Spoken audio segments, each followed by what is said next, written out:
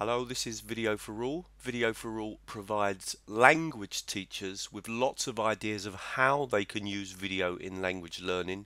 So a really interesting website if you're looking for ideas for inspiration of how to use video with your students and you can easily navigate the content for any of these boxes here and it will bring you to lists of different content.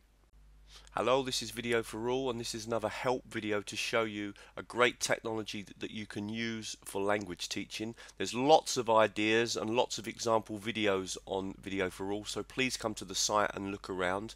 The technology that I want to focus on today is called mailVu uh, it's a very simple technology to use and it allows us literally with the click of a button to record our webcams so students can do examples of them recording. They could perhaps be working in pairs doing a pair work activity and then they can share those recordings with their teacher or with other students. They can put the link into their blogs or into a wiki or into, um, for example, Moodle, or they can simply send the link to the teacher. Now, you don't even need to sign up to be able to use this technology. I'm going to quickly show you how it works. I'm going to click on the Allow button here. You'll see my webcam comes on.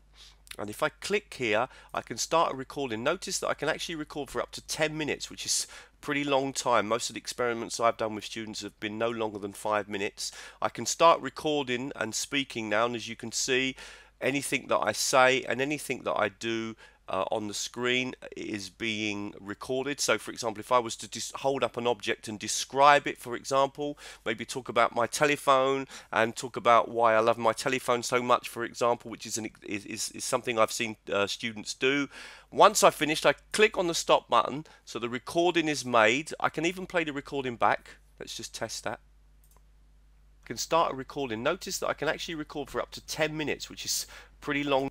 So you can see very good quality, easy to do. Now I can share that recording. Now there are various ways. One way is to just simply click on the send button and to put in your name, your email, and the email of the person that you want to send it to. Afterwards you click on next and you just perhaps say the subject, what is the reason for, it might be your homework or something, and then click on next again. You'll come to the last one Send yourself a copy. It's good for you to have a copy. Notice that you will be told if you choose this choice when your message has been read and then click on the submit button.